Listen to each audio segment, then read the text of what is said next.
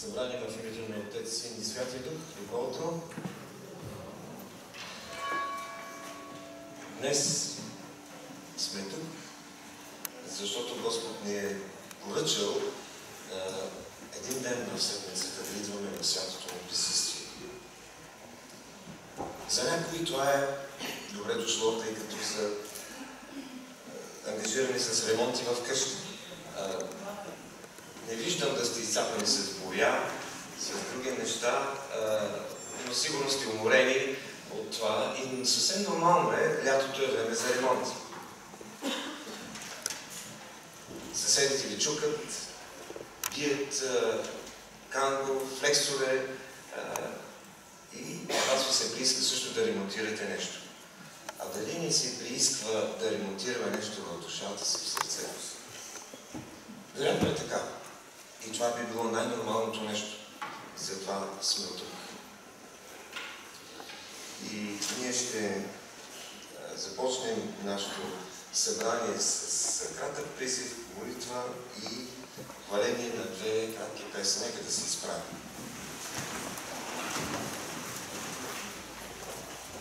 Твоето Слово е светилник за краката ми и виделина на пътеката ми. Заклех се и го потвърдих, че ще държа праведните Твои постановления. Много съм наскърбен. Господи, съживи ме според Словото си. Приеми моите се, Господи, доброволните приноси на устата ми и научи ме на поведението си.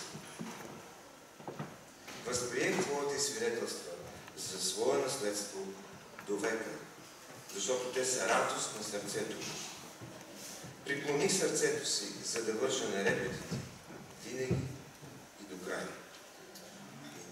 Господи, наистина Твоето Слово е светилник на розете ни. Тази сутрин ние идваме с надежда не само да чуеме, да се нахраним, но и да Ти послужим. Да предадеме всичко, което е дължимо на Тебе, както поклонение, така и дарове, така и покаяние, така и сила за нов живот, ново служение. Благоволи на събранието ни в името на Отец, Син и Святи Дух. Амин. Нека молиме, слави Създателя и слава, слава.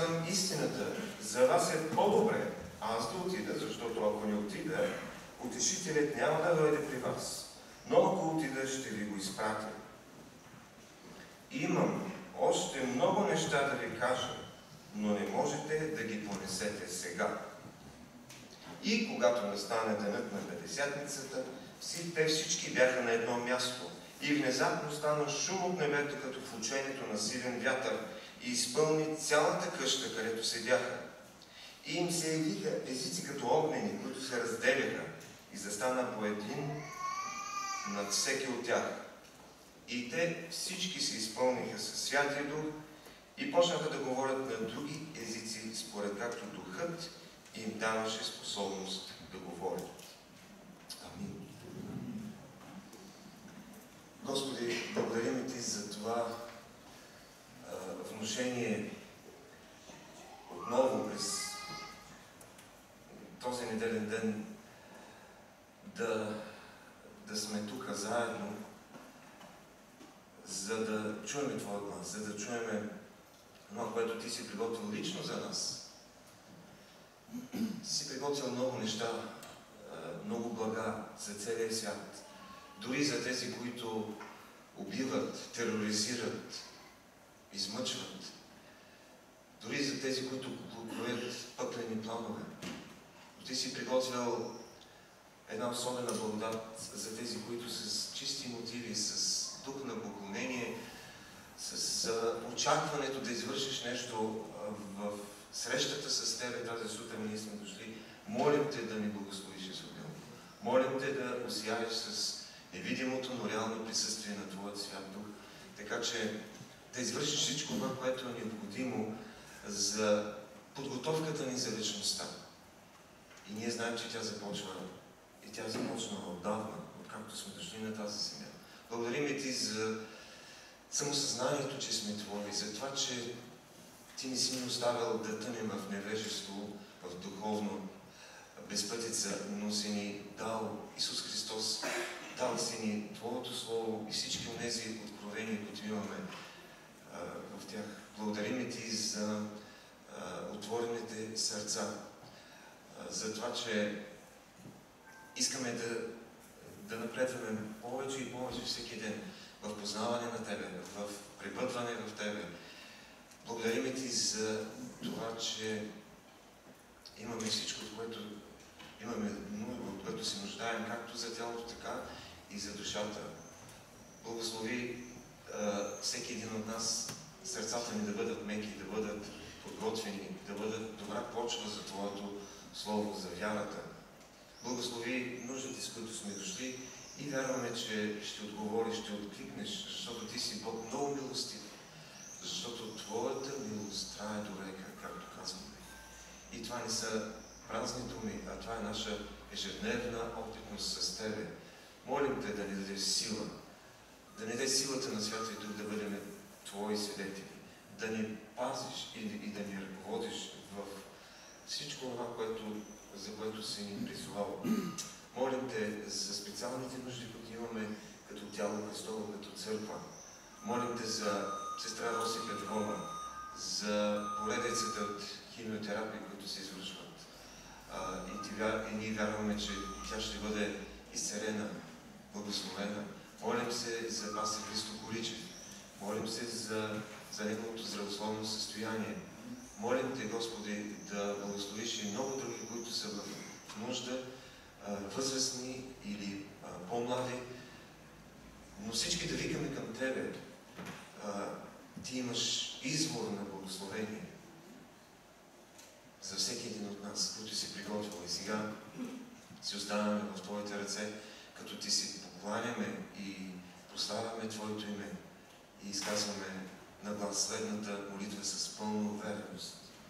Отче наш, който си на небесата, да се святи името Твое, да дойде царството Твое, да бъде волята Твоя, както на небето, така и на земята. Хляба наш насъщни, дай го нам днес и прости ни дълговете наши, както и ние прощаваме нашите длъжници и ни провежда изкушение, но избави нас от лукавия, защото е Твое царството и силата и славата?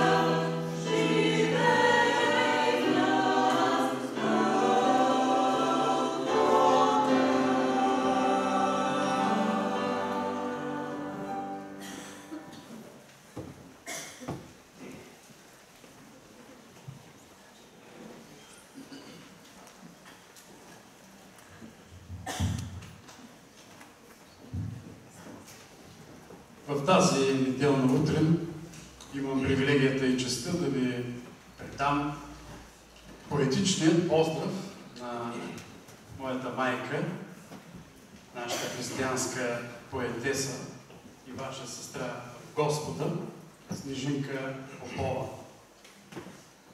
Днес е, сега е утрин, денят ще премине и ще дойде вечерта. И затова стихотворението се казва Благословенна лятна вечер. В ухание от роси и липи въздиша любено земята. Сред звездните водина златна ладия крилата заплува царствено луната. И серенада от штурци събужда тишината, а от светулките рояк искри танцуват пламенно с мрака. Душата ми благодари в захлас, че тази прелест Бог е сътворил за нас. Амин. Да ви. Благодаря ви на брат пастир Радослав Киряков, който е между нас отново. И се надяваме, че ни послужи не само с стихотворение, но и участие в раздаването на Господната трапеза малко по-късно. Сигурно всеки един от вас е преживял истина, която е чул, която първоначално е била шокираща за него. Изненадваща. Една такава шокираща истина чуха 12-те ученици от устата на техния Господ. Те бяха три години с него и добре разбираха, че той ги подготвя за нещо важно. Нещо, което предстои да извършат заедно с него. Нали затова той ги призова като апостоли. Обаче едно, едно дълго приличане, старателно запомнено и записано от Йоан, той им казва истината. За вас е по-добре да отида, защото ако не отида, утешителят няма да дойде при вас. Но ако отида, ще ви го изпратя. Исус им казва, че има нещо по-добро от това той да е до тях. Обещава им, че ще бъде в тях, в сърцете им, чрез Святия Дух. Нещо подобно е усещането за едно малко дете, което трябва да се отдели от родителите за пръв път. Трябва да отиде на лагери или при други близки и да прекара ни наред отделно от дома. Толкова е трудно това. Или ужасът на малкото орле, което е спуснато за пръв път от майката с цел да се научи да лети. Имаш усещането, че си сам, че си в друга среда, че нещо не е наред, различно от привичното състояние, но постепенно почваш да действаш в новата среда според ценностите на твоя дом и на твоето възпитание. И винаги има една такава криза в преодоляването на това до и усещането в, вътре. Точно това Исус се опитваше да научи своите ученици. За много хора идеята за Бога е едно учение. Те приемат Бог като една теория, проява на вродена човешка религиозност. Какво е за нас Бог? Дали чувстваме Бог като учение, като теория, като идея или като личност, която познаваме? Ако познаваме Исус, казва Божието Слово, ще познаваме Отец и ще познаваме и Святият Дух. Относно Святия Дух, ние срещаме най-много крайности.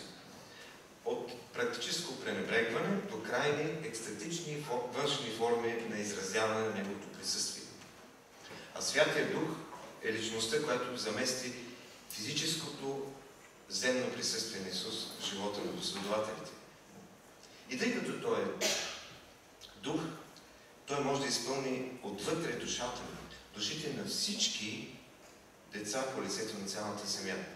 И така разбираме какво означава за нас това по-добре и по-добре.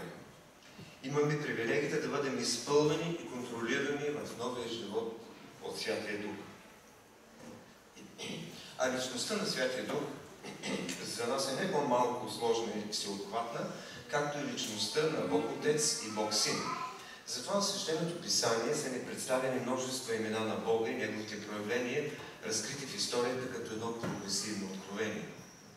Бог Отец се представя много лесно за повечето от нас в образа на бащата. Синът още по-лесно се представя, защото се е явил в човешка форма и така е запомнен.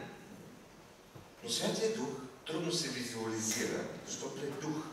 Някои възприемат Святия Дух като нещо скрито, летящо бял чаршан. Има всякакви такива вярвани истории. И все пак имаме няколко образа на Бог Святи Дух, които като ги разглеждаме, бихме могли да вникнем по-дълбоко в личността и действията на Духа за наша полза. Защото именно Духът е тази личност, чрез която цялото Божествено триединство работи вътре в самите нас. Така имаме поне 6 показани образи на Святия Дух. Огън, вятър, гълъб, масло или елей, вода и печат. Първият образ на Святия Божий Дух, на който ще се спрем е огънят. И той е представен в денят на Пересатница от огнените езици. Те застанаха над главите на апостолите и се казва, и виха им се езици като огнени, които се разделяха и застана по един на всеки един от тях. Втора глава, трети стих. Огънят представя поне три идеи. За наказание, за очистване и да гори за Господа. Йоан Кръстител казва, че вярващите ще бъдат кръстени с Святия Дух и с огън. Старозаветното пророчество на Юил се изпълни частично в деня на Петдесятница, останалата част от това пророчество, касаещо съда в края на времената, предстои. Когато дойде време за жътва, всичко се събира на хармана и там се отвява плявата от житото. Плявата се изгаря. Такава ще бъде, Словото, и съдбата на нечестивите. Огънят на ада е символ на вечната съдба на отхвърлилите спасението и отхвърлилите спасителя. Но има някои християни, които едва ще се избавят, казва, но тъй като чрез огън. Тоест, ще бъдат отгорени, обърлени от дисциплиниращото и очистващо действие на огъня. И ето как пророк Исаия говори за действието на Святия Дух като огън върху спасения остатък. И останалите в Сион и оцелелите в Иерусалим ще се нарекат святи, когато Господ измие нечистотата на Сионовите дъщери и очисти кръвта на Иерусалим сред него чрез дух, който съди и чрез дух на изгаряне. Духът на изгаряне и духът на очистване се представят образно от този природен феномен огънят. Всички вие си спомняте как Бог се яви на Моисей на планината Синай. Горящ храст, като огън. Господ му се откри за пръв път като огън. И след като освободи народа от египетско робство, Бог отново се яви на Моисей на Синай, пак в огън, давайки му закона. Казва се в Изход 19 глава 18 стих, а Синайската планина цялата беше дим, в дим, защото Господ слезе в огън на нея. И димът ти се издигаше като дим от пещ и цялата планина се тресеше силно. Какво мощно представяне на Божията святост чрез огъня. Но освен тези плашещи, естествено внушаващи респект и страхопочитание пред Божията сила, огнени проявления на Святия Дух, нека да обърнем внимание на третата практична идея, която представя огънят, освен почистване и изгаряне. Това е да гориш за Господа, да гориш. Това е състояние, което е коренно противоположно на бездушното, равнодушно и апатично християнство, което се възприема от народа като нещо нормално. Нормално християнство. Другото, пламенното, изповядващото, воюващото срещу злото християнство се възприема като крайно, фундаментално сектантство. Хората, които горят за Исус и Неговата правда, не могат да остават остават равнодушни за потъпкането на моралните християнски ценности, стоящи до сега в основата на нашата страна. Тези, които горят за Исус, не могат да стоят безмолвни и да не говорят за Него, за спасението, за пътят на спасението при първата отдала им се възможност.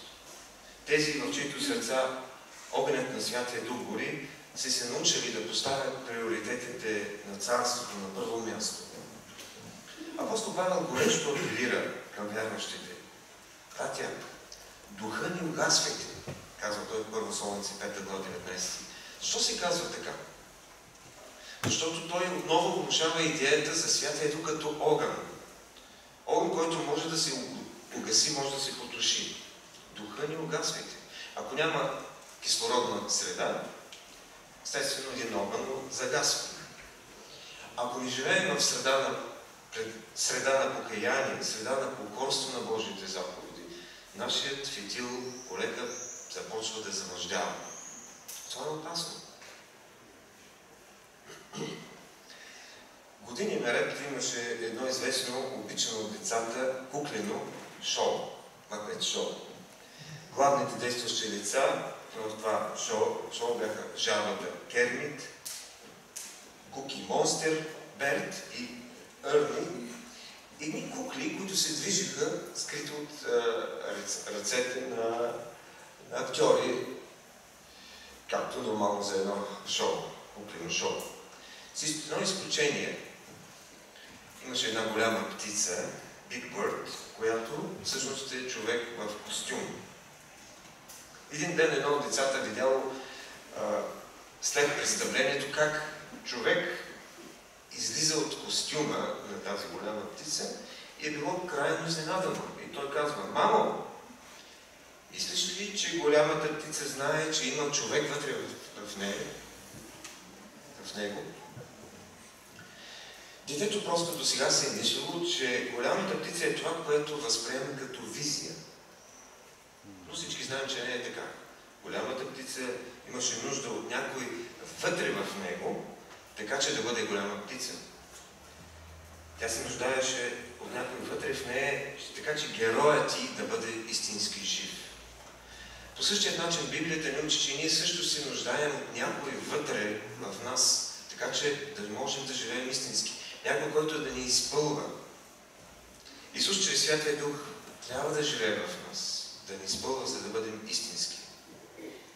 И как образът на Божия Дух като огън ни помага да бъдем изпълвани и водени от Него. Тази идея ни помага в молитвата. Като заставаме в молитва,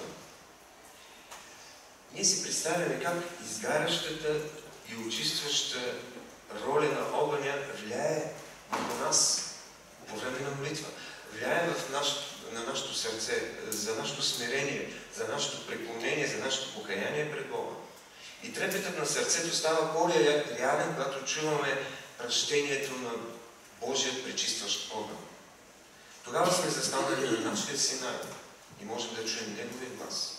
Тогава можем да откликнем на Неговия призив и да кажем, ето ме Господи, изпрати мене, искам да ти служа, предавам всичко на Теб. Бог да ни благослови да можем да го кажем това. Защото Святия Дух ни се представя не случайно като огън. Вторият образ на Святия Дух е вятъра. И внезапно стана шум от небето, като учението на силен вятър. Изпълни цялата къща, където се бяха. И всички се изпълниха със Святия Дух. Както казахме в началото, на Петдесятница Святия Дух се асоциира не само с огъня, но и с друг природен феномен – вятър. Трудно е да намериш картинка, за да покажеш вятър. Това просто не се визуализира. Това е истински, ти го чувстваш, но не можеш да го видиш. По същия начин е действието на Божия свят Дух. Но може би в деня на Петдесятница не е имало истински вятър, а се казва като шум от силен вятър или торнадо дори. Той изпълва не само къщата. Цял Ерусалим е чул шума на този, на този бурен вятър, на това торнадо. Каква мощна сила може да бъде вятъра? Ние всички знаем. Да, може да бъде и а, източник на енергия от а, тези перки, които ги виждаме навсякъде, когато пътуваме из страната тези дни, но може да бъде и разрушително торнадо. Още и в Стария Завет имаме ясен образ за това, че вятърът се асоциира с Божия дух, който дава живот. Другата а, а, така, а, другото дума, която се превежда като вятър е дъх. Вдъхване. И Господ Бог създаде от човека човека от пръст от земята и вдъхна в нозете му жизнено дихание. Духна. И човека стана жива душа. Защото този дух на Бога дава живот, жизненост. В видението на Езекил за долината на сухите кости отново виждаме оживяващото дихание на Бога да идва като вятър в 9 стих. Там се казва, че прави мъртвите тела отново да оживеят. По принцип тази част от пророчеството на Езекил е апокалиптична, но той дава надежда на пленения Израел за бъдещото възстановяване. Освен това, ни казва едно, ни дава едно богословско заключение за възраждащата роля на Дух. Господ казва, след като вложа духа си вас, ще оживеете. Това пророчество е свързано с новозаветното обещание за обитаващия свят дух. Всички ние си спомняме една песен от преди 25 години, която стана хит. Вятърът на промяната. Wind of Change. Тя отново се пее дори и днес. Вероятно, защото още не е свършила тази промяна. Вятърът на промяната е нещо, което изпитахме. Не всички обаче се промениха. Не всичко се промени. Някои останаха да живеят в миналото. Така е в духовната област. Не всички наричащи себе си християни са променени от Святия Дух хора. Някои просто са придобили нови навици без вътрешна промяна на естеството. Има една особена роля на Святия Дух, който чрез вятър се представя. Именно раждането чрез духа. Вятърът представя раждането чрез духа. В Йоанна 3 глава Исус разговаря с един уважаван юдейски учител Никодим. И в 8 стих си казва, той казва на Никодим, вятърът духа където ще и чуваш шума му, но не знаеш откъде иде и къде отива. Така е с всеки, който се е родил. Както казахме, а, пояснително, думите за вятър и дух се превежда с една и съща, както гръцка, така и еврейска дума. Пневма или руах. Определено, обаче, това е като игра на думи. В Стария Завет и в еврейската неканонична литература се говори за мистерията, за происхода на вятъра. И аналогията, която Господ Исус прави в Йоан 3 глава при срещата с Никодим, цели да посочи, че както вятъра, така и духовното раждане са тайнствени по происход. Те са невидими, но техните резултати могат да бъдат наблюдавани, могат да бъдат забелязвани. Духовното раждане за известно време може да, става, да остане неразгадано за човешката преценка.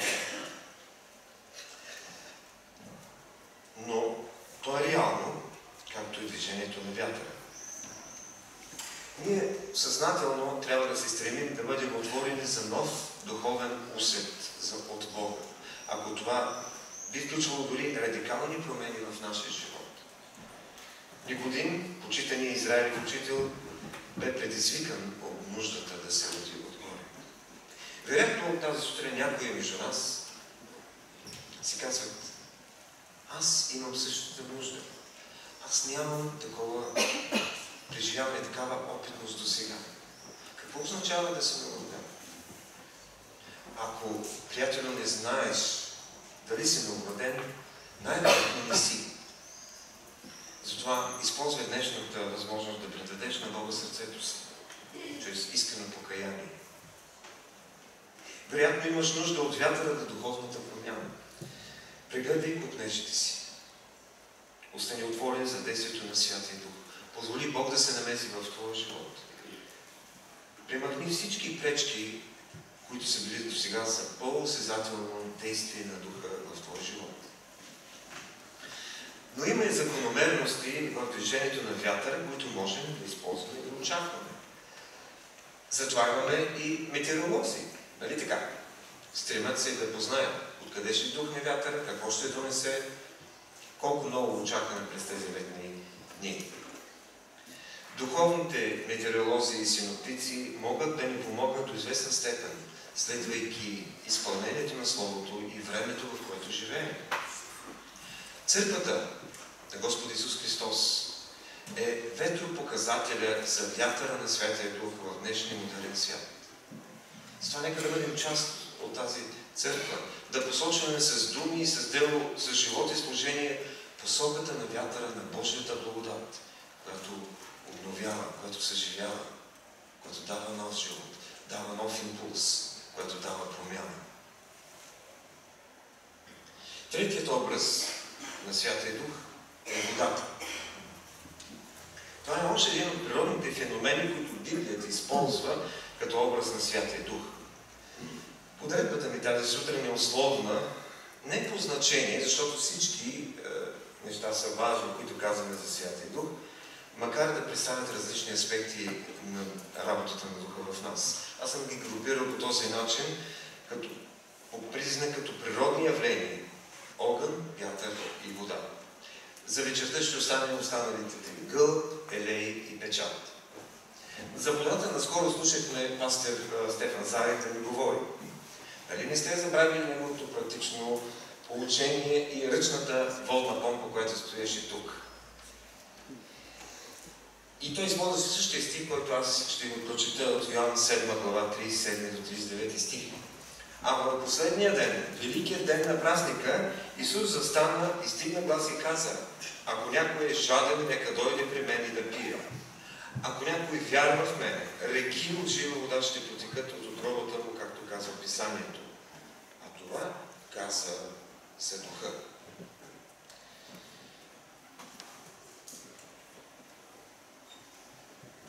Както за предишните явления, за които говорихме, на...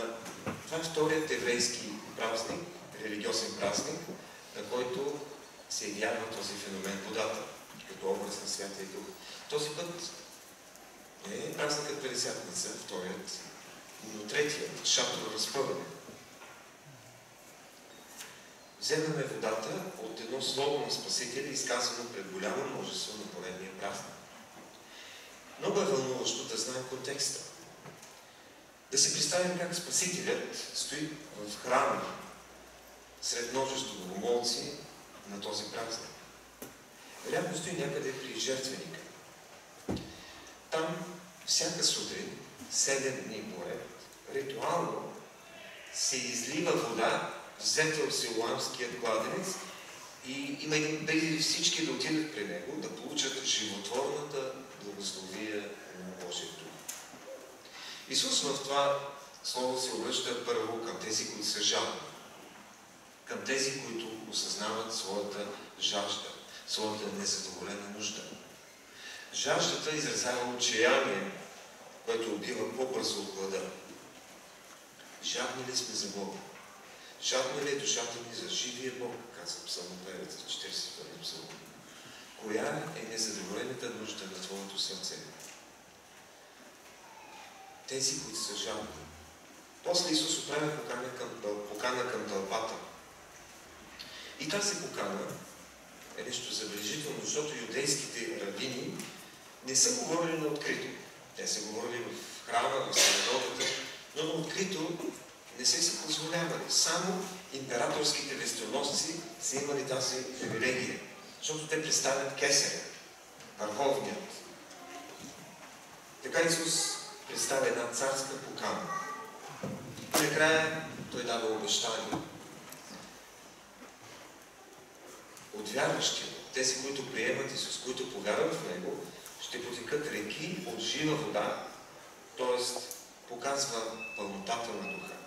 Не вада, не поточен, не канал, а пълноводна река. Като реката, за която говори Езекил в 47 глава. Река, която дава живот. Някак си естествено да си припомним получението на Спасителя при Якововия кладенец пред Самарянката. И виждаме пряката връзка. Живата вода се дава от Исус. Той дава на всеки, който дойде при него, който повярва, който с желание идва при него, да той ще пие и дори жаждата си. И тогава Святия Дух ще стане в него извор на вода за нов живот. Исус е върховният източник на Духа. Ние нямаме основания да смятаме, във връзка с този текст, че разполагаме с някакъв свой собствен вътрешен извор на духовна сила, която да бъде независима от взаимоотношението ни с Христос. Напротив, ако има нещо, което не е наред с връзката ни с Христос, ако има неизповядани грехове, ако а, нещо има духовна суща, ще има немощ. Ако Господ не е прославен в нашия живот, тогава реките на тази благодат, за която се говори, няма да потече. Образът на водата ни показва делото на духа, който отолява жажда, който обновява, който освежава и става в нас извор за живота на други. И това последното е свързано с нашето свидетелство за Исус пред света. И тук процесът е ясен. Упростен. Идваме при Исус, като предаваме живота си на Него и тогава Святия Дух не дава не само желание, но и сила да го изповядваме смело в този объркан свят. Именно Духът е, който обновява, който освежава, който учи, който напомня, който променя, който се застъпва, който ходатайства за нас пред Отца, който дава сила и ревност да му служи. Как Святия Дух действа в този живот? Как те новоражда, как те обновява, как те спасява, как ти дава мир, как ти дава надежда, как те учи, как те изобличава, как те напомня неща, които скоро, е, отскоро си забравя, а си ги знае винаги. Не спираме да се удивляваме за това вътрешно дело. Защото той реално действа в живота ни, като ни оформи. И няма такава аналогия в физическия свят. Всички тези образи са крайно недостатъчни да ни обрисуват Неговото действие. Колко са разнообразни Неговите дела в нашия живот, колко са различни проявленията в нас, Неговите слуги. И си мисля накрая за цялата тази тълпа, събираща се години наред, година след година на тези празници, от които извеждаме образите на Святия Дух. На празника Пелесятница и на празника Шатровъзпъване. Мисля се за живота на тези хора, за техните съдби, за техните надежди, за техните мечти и очаквания. Мисля си за това какво са отнесли със себе си, когато са се прибрали по къщите си след тези празници. Дали са станали по-различни? Или са потънали в старите си дългове и проблеми? Мисля си за хората като нас 2000 години по-късно. Какво се случва с нас, когато всяка неделя се прибираме от дома си. Да, да, ние посещаваме църквата, различни църкви дори, изпълнени сме с надежда и очакване. Дали често не се връщат обратно хората празни и недоволни? С какво очакване ти си дошъл и как ще си отидеш след малко? Моля се Господ да излее духа си върху всеки един от нас обилно, като освежаваща вода. Да ни посети и да даде отговор на въпроси, които имаме и да ни изпълни с радостна надежда. Бог да ни благослови. Спасителю, поваваме на, на този дух, който изгаря, който очиства, но ни дава една гореща ревност за Тебе. Мисля си, мислим си за този дух, който ни вдъхва жизненост, който ни променя. Мислим си за този дух, който освежава душата. Благодарим Ти. Те моля да изпълваш всеки един от нас да бъдем Твои свидетели.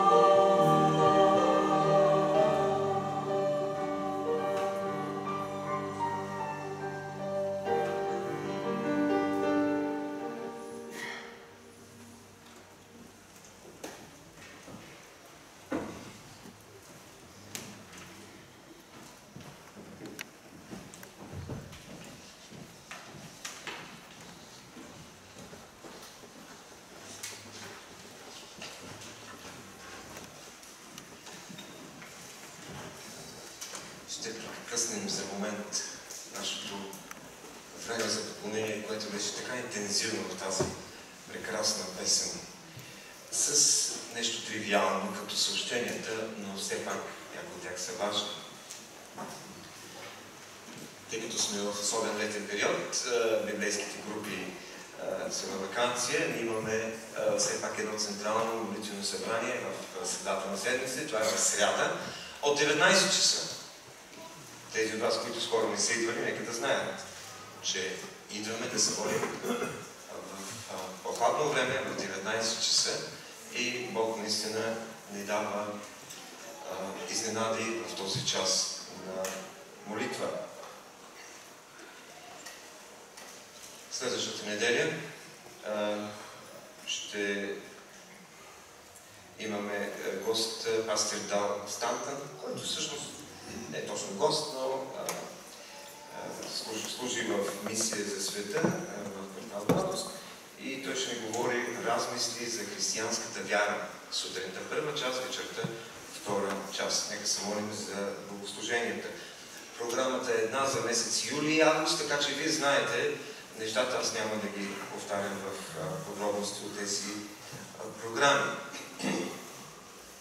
Библиотеката работи след службата, тук горе, кафе книжарницата също, вестник Сурница, както знаете, е от месец, месец юли е по-голям брой и е по-голям не само количествено, с повече страници, но и качествено бих казал, много интересни статии. Една, е, има да може да намерите много неща в този брой. Вземете си го, ако още не сте се набавили. Има от известно време на таблото в коридора една информация за конкурс за детска рисунка на тема Вярата, мечта за по-добър свят. Има а, три възрастови групи, които децата могат да участват от 6 до 10, от 11 до 14, от 15 до 18. Творбите трябва да бъдат в размер 35, до 50, на 35 на 50 см. Техниката на рисуване е по избор. На гърба на рисунката да бъде поставена само а, имената и а, заглавието на творбата, телефон за връзка и църквата, която се представя детето. Така че до 27 август участниците трябва да изпратят рисунките в съответно място, където ще намерите като информация. И ще има жури, което ще отличи три награди на всяка една възрастова категория.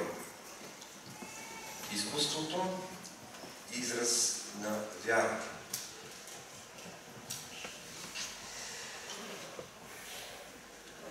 Някаква друга информация от ръководство не знае дали ще има. настоятелството.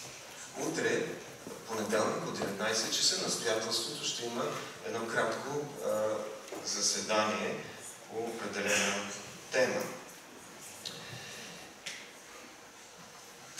Ще а, събереме доброволните дарения, които вече виждам някои от вас са приготвили и стискат с желание да направят дарение за това с пенето на песен 558. Моите стъпки управи. 558. Тя ще бъде изписана на екрана, разбира се, след което ще участваме в Господната трапеза.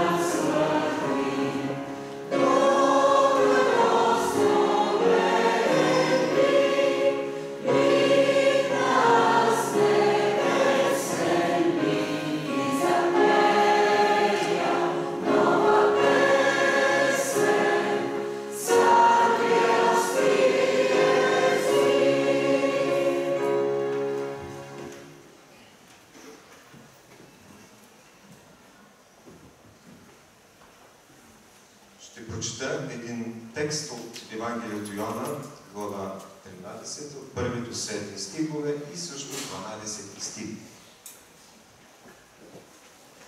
А преди празника Пасха Исус, като знаеше, че е настанал часът му да премине от този свят към Отца, като беше възлюбил своите, които бяха на света, до край ги възлюби. И когато беше готова вечерята, като дяволът вече беше внушил сърцето на Юда Симонова Искорионски да го предаде, Исус като знаеше, че Бог, че Отец е предал всичко в ръцете му и че от Бога е излязъл и при Бога отива, стана от вечерята, свали горните си дрехи, взел престилка и я препасал. После наля вода в умивалника и започна да мие краката на учениците и да ги изтрива с престилката, с която беше препасан. И когато стигна до Симон Петър, той каза, Господи, ти ли ще ми умиеш краката? Исус му отговори, това, което аз правя, ти сега не осъзнаваш, но после ще разбереш. И като уми краката им и се взе горните дрехи, седна пак и им каза, знаете ли какво ви направи? Амин.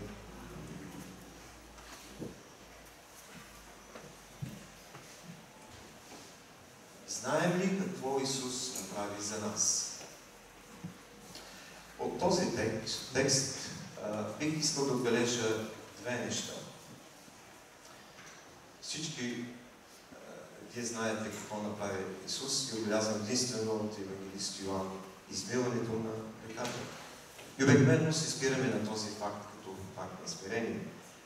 Той взе престилката и е, изми краката на учениците. Има една подробност, която много често припускаме. Това е, че се казва, че той свали горните си дрехи в четвърти стих. И това е нещо съвсем необичайно. Юдеите знаеха и получаваха с подробности как трябва да се празнува Пасха. Никой нямаше право да си сваля дрехи. Напротив, трябваше да бъде облечен с всичките си дрехи, трябваше да бъде препасан и с оръжията си готови да напуснат Египет в нощта на Пасха. Исус обаче направи нещо скандално почти. Свали дрехи. Какво ще кажете, ако президента на страната в някакво официално тържество започне да сваля сакото, вратовръзката, ризата, няма ли да бъде скандално? Нещо подобно направи Исус на тази Пасха. И Исус обяснява на Петър, обяснява и на всички нас. Това, което аз правя, сега не осъзнаваш, но после ще разбереш. Кога е това после? Ние всички знаем какво се случи часове, дори не единонощни часове след това. Исус беше разсъблечен. За едната дреха хвърлиха жреби, а другата му беше разкъсана на четири части. И тогава, когато беше издигнат на кръста, всички видяха белези, окърваването му тяло за греховете на всеки един човек и за нашите грехове. Там на трапезата те трябваше да видят разликата. Там на трапезата той свали горната си дреха и те видяха неговото чисто тяло. А после видяха окърваването му тяло. Това трябваше да разбере и Петър. Това трябваше да разберат всички ученици и най-вече Тома, който се съмняваше, който трябваше да види белези. Как ние виждаме Исус? Как ние разпознаваме Исус, който на трапезата представи себе си, разголи себе си, показа себе си? Разпознаваме ли Спасителя, за да можем да участваме?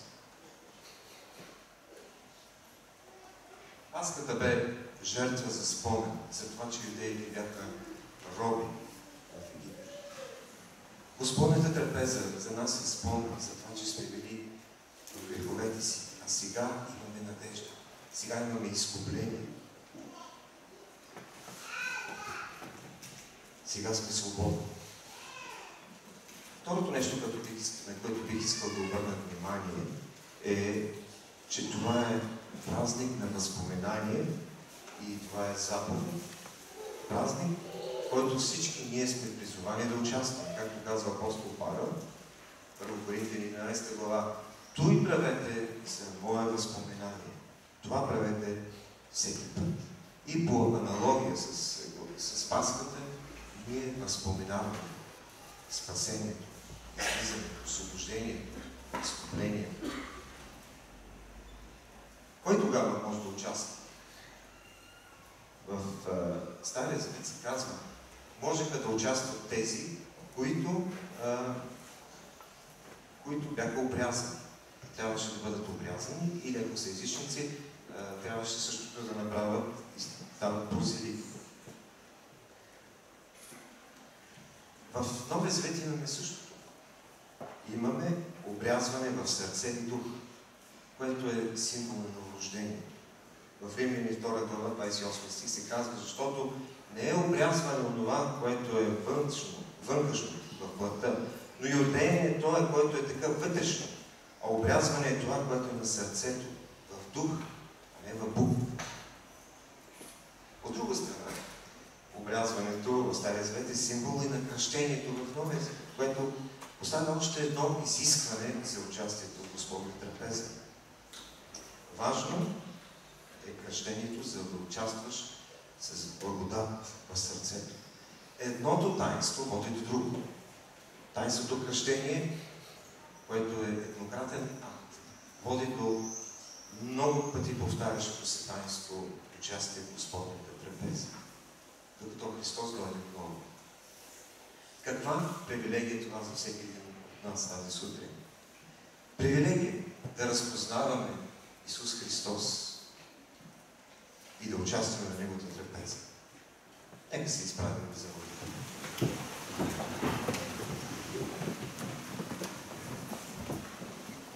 Господи, благодарим Ти за това, което Ти извърши на кръста, Голготската всеки един от нас. Благодарим Ти за това служение, което имаше през всичките години на тази грешна земя. Благодарим Ти за откровенията, които имаме на Твоята последна Пасха и за нас първа Господна трапеза. Молим Те да се разкриеш в живота на всеки един от нас. Молим Те да Те видим в цялата пълнота, в цялото смирение, символизирано от престилката, но и в изпитанията, изкушенията и страданията, които понесе заради нас, за къмшиците, за гвоздите. Молим Те, прости. Молим Те да отнемеш всякакви беззаконие, всяко, всяко нещо, което ни отделя от Тебе. Молим Те да ни помогнеш да осъзнаем нуждата да бъдем, да знаем, че сме новородени, да знаем, че сме Твои чеда, да, да, да виждаме това, което Ти вършиш в този свят, да бъдем изпълнени със Твоя дух. Молим Те, дай ни откровение за надеждата, която имаме, да живеем един свободен живот.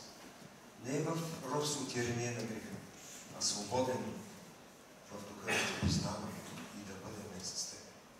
Господи, покланяме Ти се и предаваме сърцето си на Тебе. Освети хлябът и виното. Благоволи в тази трапеза за всеки един от нас.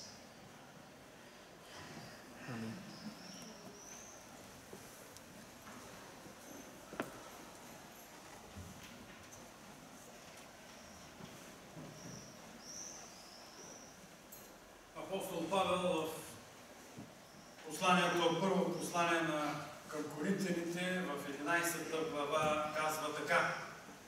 Защото аз от Господа приех това, което ви предадох, че Господ Исус през нощта, когато беше предаден, взе хляб и като благодари, разчупи го и рече, това е моето тяло, което за вас е разчупено.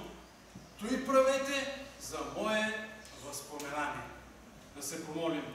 Господи, благодарим Ти за този хляб, който е символ на Твоето свято, чисто тяло, което бе жестоко разпънато на грубият голготски кръст, не защото ти съгреши в нещо, а защото, Господи, ние съгрешихме спрямо Теб, а Ти по този начин понесе нашите грехове на кръста. Затова идваме и пристъпваме и посягаме към този хляб с голямо благоговение, с голяма благодарност и поклонение пред Тебе, Господи, за тази велика жертва.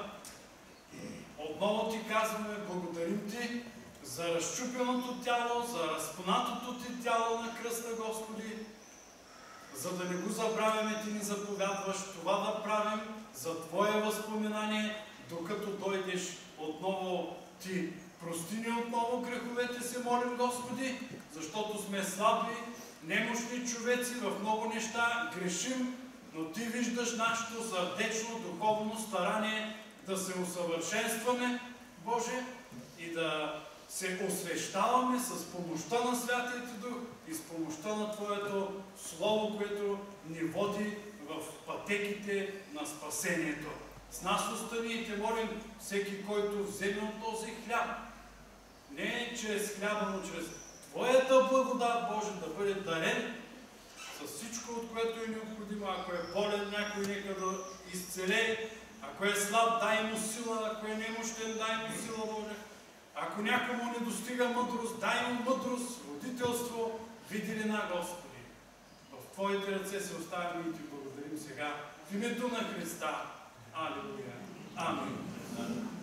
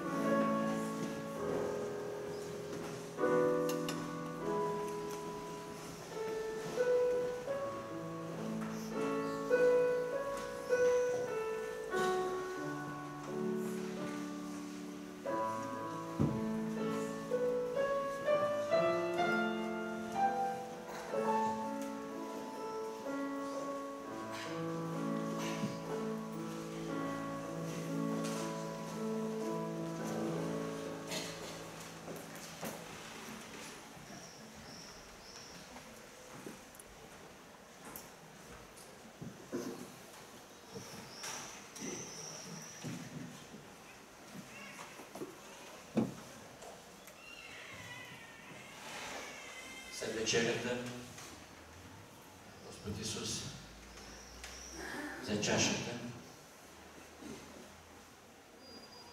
каза вземете и пийте. Това е моята кръв на новия завет. Господи, сега с особена почет приеме тази чаша и те молим да я оживиш чрез действието на Твоя Святия Дух, чрез Твоето Слово от нас и чрез това да се съединим Тебе. И да изпитаме както Твоята очистваща сила всеки грях и неправда. Така и тази благодат, която ни издига към Тебе, която потвърждава нашето спасение и единство с Тебе. Свети чашата